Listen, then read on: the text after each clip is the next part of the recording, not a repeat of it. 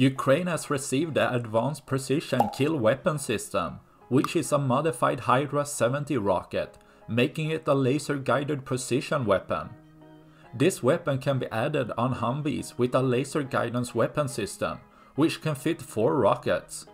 This turns the armored truck Humvees into high precision missile vehicles, adding firepower to infantry troops also being able to take out small target which can be hard to pinpoint with artillery or other weapon system. As seen here targeting electronic warfare equipment as well as hitting buildings at very specific positions. If Ukraine keeps getting supplied with these in larger numbers, this weapon system could add an important close-range targeting function, letting Ukraine keep the upper hand in more situations. That's all I had for this video. Please like and subscribe for more. Thanks for watching. Bye.